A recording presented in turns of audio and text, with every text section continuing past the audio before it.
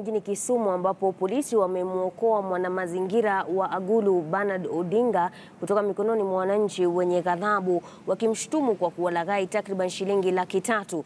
Kwa mujibu wa wenyeji, Odinga aliwalaghai wajisajili na mradi wake ili wapate ufadhili kutoka mataifa ya kigeni kisha waajiri kama vibarua wa kuondoa gugumaji katika ziwa Victoria, jambo ambalo hakutekeleza licha ya wenyeji 560 kujitokeza na kujisajili kwa shilingi 500.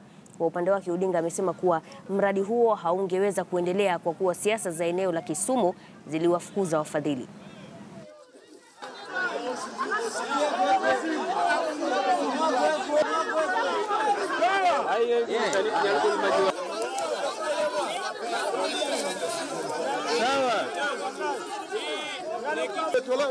Wakati ule magugu imetolewa hapa hivi ilikuwa magugu.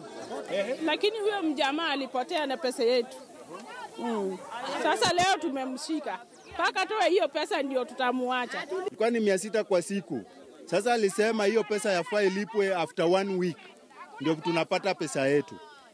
Wiki zikaenda zikaenda, mwezi na mamwezi, karibu miezi tatu tukifanya hapa. Sasa ninaomba ya kwamba serikali ya Kenya hawa wenzetu wako na ukweli kudai haki yao, kwa sababu walifanya kazi ya Hyacinth na hawakulipwa. Ninaomba ya kwamba serikali ya Kenya warelease hiyo pesa, kwa sababu mimi sasa ndio niko na problem. Hata mkiona kwa media hapa, niko na problem ya vijana kukosa kulipwa.